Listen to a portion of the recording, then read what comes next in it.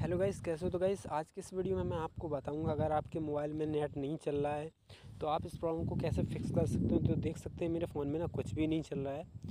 तो अगर हम फेसबुक ओपन करेंगे तो फेसबुक तो ये पहले से ही लोडेड है, इस वजह से मैं आपको यूट्यूब दिखा देता हूँ।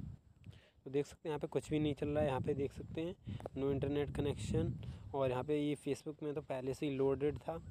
तो अगर मैं यहाँ पे इंस्टाग्राम को दिखा हूँ अगर नए पेज पे तो नीचे देख सकते हैं, यहाँ पे यहाँ पे भी कुछ भी लोड नहीं हो रहा है। ये पहले से ही लोडेड है इस वजह से। और अगर मैं कोई भी अगर ऐप ओपन करता हूँ तो यहाँ पे मेरा जो नेट है, बिल्कुल भी नहीं चल रहा है। देख सकते हैं यहाँ पे। तो अगर आपको भी कुछ इस तरह से प्रॉब्लम देखने को मिल रही है तो आज के इस वीडियो में मैं आपको बताऊँगा किस तरह से आप जो है इस प्रॉब्लम को फिक्स कर सकते हैं। तो इसके लिए आपको क्या करना होगा, कुछ सेटिंग्स करनी होंगी। इसके लिए आपको क्या करना, सबसे पहले आपको अपने मोबाइल की सेटिंग्स में चले जाना है। उसके बाद आपको क्या करना है, नीचे जाना है और यहाँ पे आपको एक ऑप्शन देखने को मिलेगा। यहाँ पे सबसे ऊपर आपको देखना है SIM card and mobile data आपको इस पर क्लिक करना है और आपको उस सिम को सेलेक्ट करना है जिससे आप इंटरनेट यूज़ करते हैं। उससे सेलेक्ट करने के बाद आपको क्या करना है, यहाँ पे आपको देख लेना है कि आपकी जो सिम है वो इनेबल है।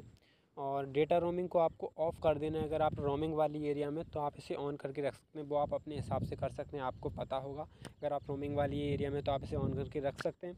उसके बाद नीचे आपको एक ऑप्शन देखने को मिलता है परफेक्ट नेटवर्क टाइप तो आपको यहाँ पर फोर जी सेलेक्ट करना है। अगर आपका फ़ोन फाइव जी है तो आपको फाइव जी सेलेक्ट कर लेना है।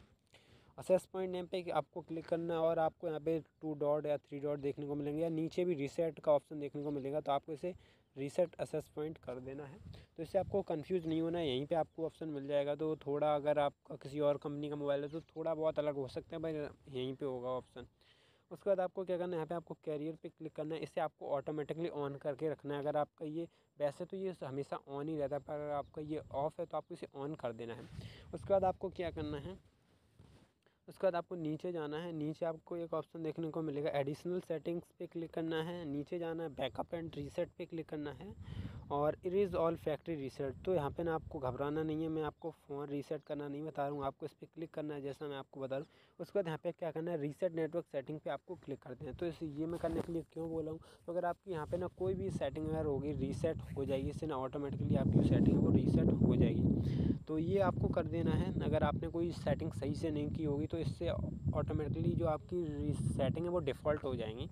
तो ये आपको कर देना है और उसके बाद आपको क्या करना है? यहाँ से आपको आना है बैक और बैक आने के बाद आपको क्या करना है, आपको अपने डिवाइस को एक बार रीस्टार्ट कर इसके बाद आपको चेक करना है कि आपकी जो और आपको ना, आप चेक करने से पहले आपको ये देख लेना है कि आप जिस भी एरिया में वहाँ पे नेटवर्क आ रहे हैं या नहीं आ रहे हैं। अगर आप के मतलब आप ऐसी एरिया में जहाँ पे नेटवर्क ही नहीं आ रहे तो इस प्रॉब्लम का सोल्यूशन तो कुछ भी नहीं है। मतलब अगर वहाँ पर नेटवर्क ही नहीं आ रहे तो इस प्रॉब्लम को कैसे फिक्स किया जाएगा?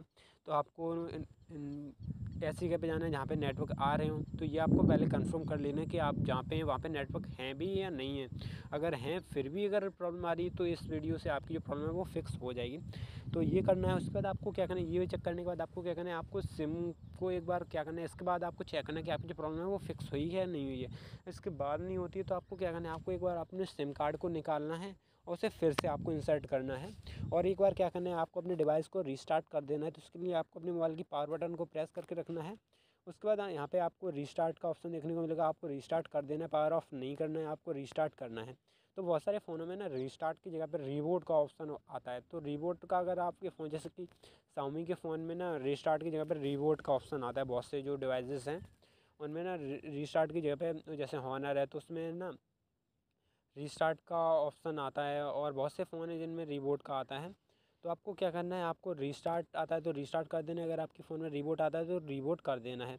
तो आपको ये कर देना है। उसके बाद आपका जो फ़ोन है वो ऑन हो जाएगा कुछ देर बाद उसके बाद आपकी जो नेटवर्क प्रॉब्लम है वो फिक्स हो जाएगी। तो अभी मैं आपको लाइव रिस्टार्ट करके नहीं दिखा सकूँ क्योंकि ये जो मेरी वीडियो है वो स्क्रीन रिकॉर्ड से बन रही है और ये जो वीडियो वो कट जाएगी। तो ये आपको जो भी मैंने आपको टिप्स बताई हैं, उन्हें आपको सही से फॉलो करना है। उसके बाद आपकी जो प्रॉब्लम है वो फिक्स हो जाएगी।